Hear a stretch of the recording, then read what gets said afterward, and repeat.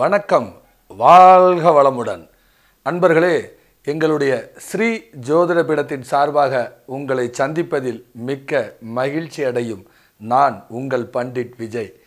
நிறையா ஜோதிடம் சார்ந்த சித்தாந்தங்களை வித்தியாசமான பதிவுகளை உங்களிடம் பகிர்ந்து கொண்டு வருகிறோம்.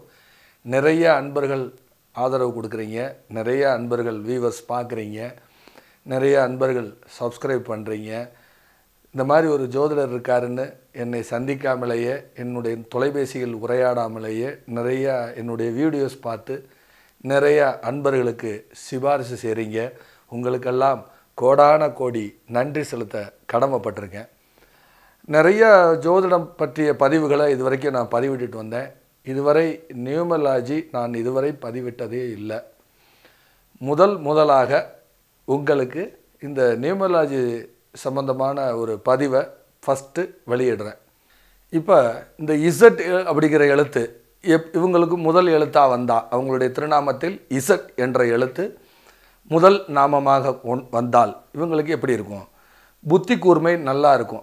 அதே மாதிரி பார்த்திங்கன்னா வெற்றி வருவதற்கான எல்லா குணங்களும் இவங்ககிட்ட இருக்கும். எப்படி ஜெயிக்கலாம் அப்படிங்கிற எண்ணம் அவங்கக்கிட்ட இருக்கும். பேச்சிலும் நயமும் தந்திரமும் இருக்கும். பேச்சில் நயமும் இருக்கும் தந்திரமும் இவங்ககிட்ட இருக்கும். அதே மாதிரி பார்த்திங்கன்னா காரியவாதி எதுலேயும் வெல் ஜெய் எதிலும் வெற்றி ஜெயம் அவங்களுக்கு உண்டு. அதிக கவலையும் அதே மாதிரி பார்த்திங்கன்னா நரம்பு போன்ற நோய் வரக்கூடிய தொந்தரவும் அவங்கக்கிட்ட இருக்கும். அதே மாதிரி நரம்பு நோய் சோர்வு வராமல் அவங்க பார்த்துக்கிறணும்.